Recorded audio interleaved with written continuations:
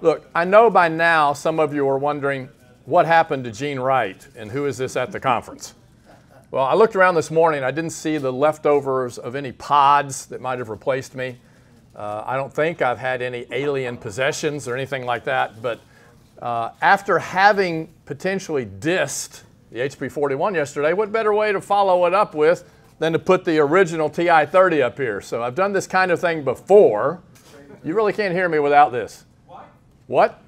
Yes. No. Uh, I did this before, remember, when I did in praise of the SR 56 which I thought was praiseworthy.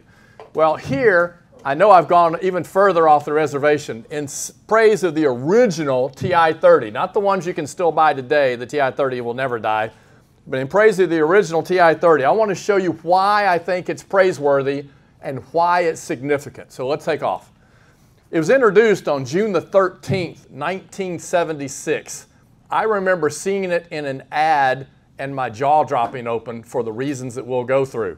Features, trig functions and inverses in degrees, radians, and grads. Not that I've ever used grads, not being a surveyor, but uh, they were on there. Logs and anti-logs, both natural and common, using the inverse key. Powers and roots. The inverse key, of course, is how you changed y to the x to do a root, log to 10 to the x, and stuff like that. As well as reciprocal, square root, and square. So you can see them all up there, very easily, easily read. It had degrees, radians, and grads mode indicated by double quote marks in the display for grads, single quote for radians, and it was blank for degrees. You push that DRG key and cycle through the different modes. Had one memory, one data memory with store, recall, sum, and exchange. Constant, oh, you can't live without the constant mode. Percentage, pi, and parentheses. By the way, it'd probably say four pending operations, and how many sets of parentheses could you have? But we didn't even know about that then. 15. Oh, really? So in other words, if you don't know how to work this thing, put a couple extra parentheses in there. Uh, exponents, strangely, could be shifted uh, where you could take 1.23 times 10 to the second and turn it into 12.3 times 10 to the first using that EE with the down arrow key, pressing that over and over if you wanted to uh, show it in some other way that's, that's useful for, for essentially manually getting the equivalent of an engineering display. It's a manual engineering mode, absolutely. When you do something wrong on this thing, it does display error, reminiscent of the 25 and others. For, as I say, four pending operations, 15 sets of parentheses. I have no idea why that would be the case. It had an eight digit LED display, 5 plus 2, which was fairly standard for a lot of eight digit displays nine total display locations, including the sign of the number, the mantissa sign, and the sign for the exponent. It displayed eight digits, but Joe did calculations sometimes to 10 and 11 places, which I was very surprised to find.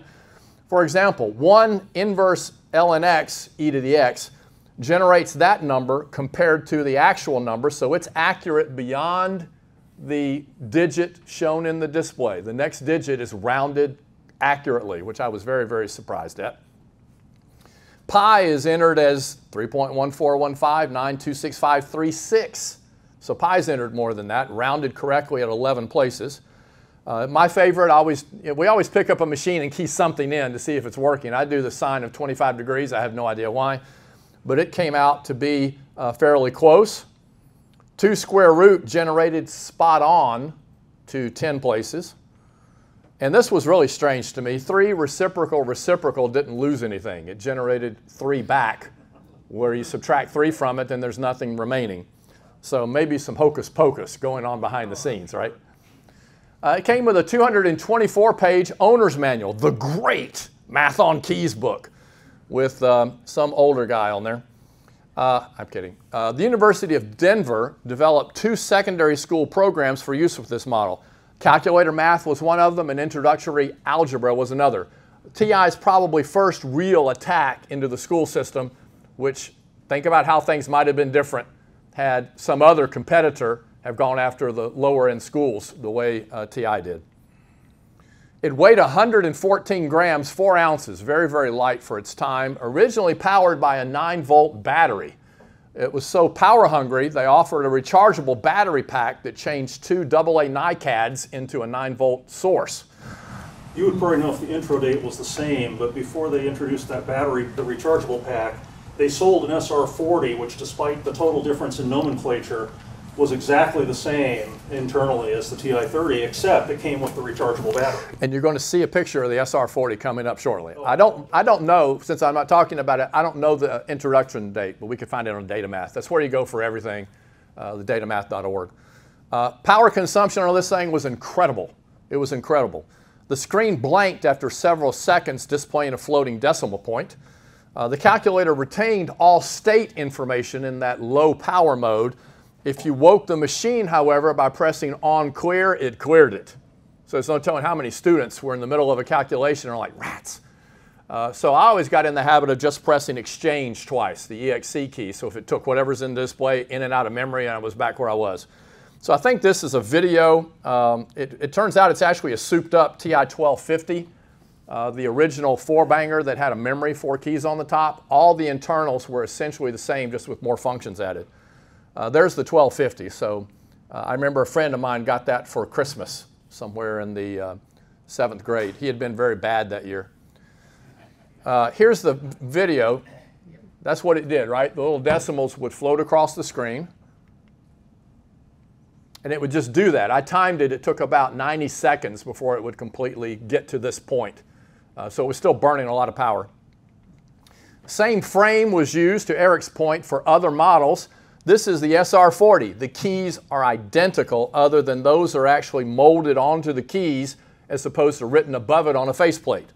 Uh, the TI-30 is 100%, 100% functionally equivalent to the SR40, which cost $20 more. Maybe because it looked more professional, so they um, pulled in some, some confused people. For the $20, you got the rechargeable pack. You got the rechargeable battery pack for that $20 more. I think maybe it looked more professional. It does look a little nicer to me, but uh, funny that it was advertised as a replacement for the SR50. If you look at the old ads, that 40 is advertised as a replacement for the SR50, and they're nowhere close from a functional perspective. That SR50 has a lot more functions on it, but caveat emptor, right? The same frame was used for a lot of other models, the TI Money Manager, the cheaper uh, financial machine, and the TI programmer. And by the way, on the prize table combo here, if you have to choose this one, you got to take them both, is a TI-30 that's in the box and a TI programmer with the manual. So uh, those are back there courtesy of uh, Scott Reynolds. Here's a picture of the box, several boxes over time. It had this unique curved uh, angle uh, rather on the, the top part of the box and all the features and specifications there on the back. That's the box that's back there. I don't even charge you $12.99 and $1982 for it.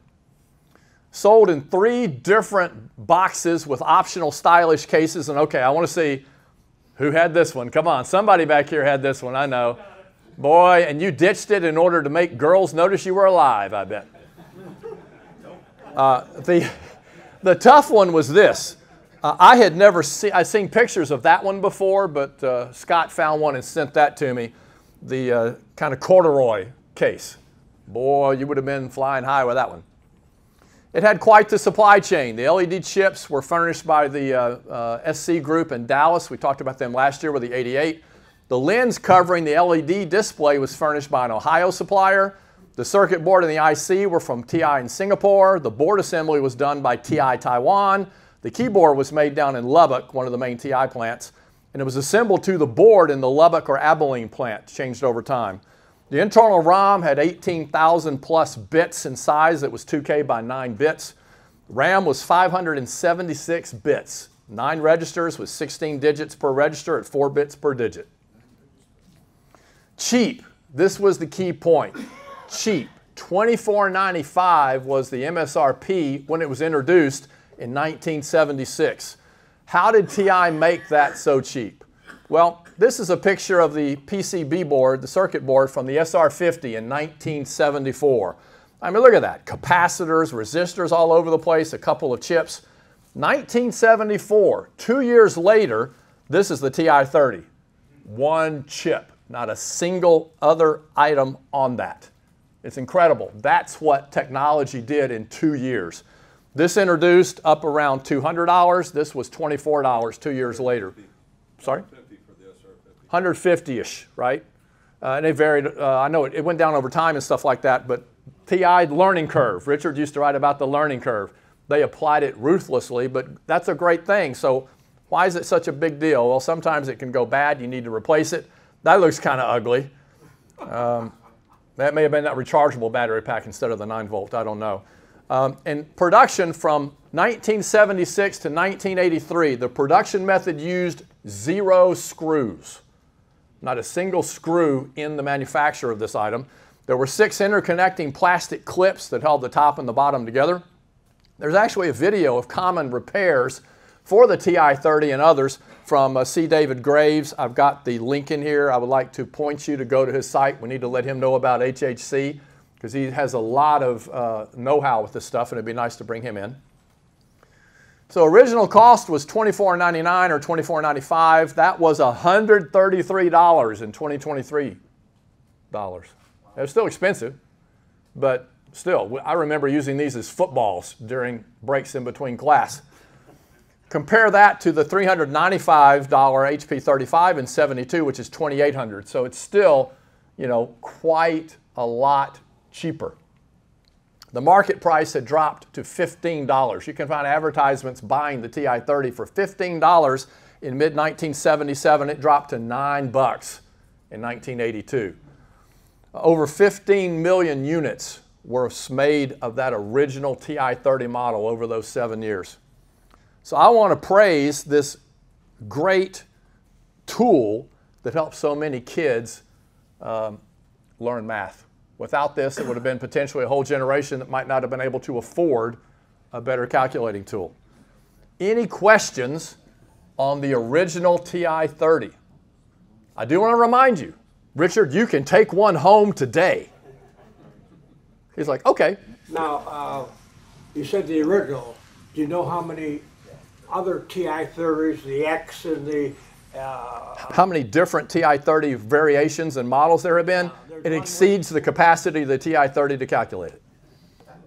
Uh, About all of null, or maybe even all of one. You could, I'm sure I could count them up on Datamath. I mean, they, they do a lime color and they call it a TI-30 XB24, who knows? Yeah, right. And there's it's, also it's, a uh, solar version. And those don't necessarily have that same rather minimal but still powerful function feature set over there.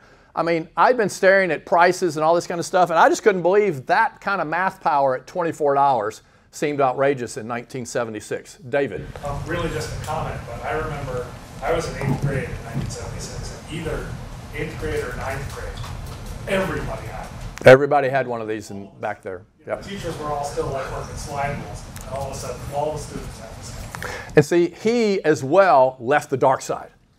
So it is possible to do that. Again, we, we skip over that because, I mean, again, we use these as footballs, throwing them back and forth in between class because they were so relatively cheap. Still $133, maybe I wouldn't have done that. But so many people had exposure to higher level math made easy by that machine. And so to me, that's worthy of praise, which is why I wanted to show it to you here this morning, afternoon.